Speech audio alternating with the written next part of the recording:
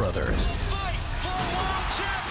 defend their titles in an epic night of fights on Fox.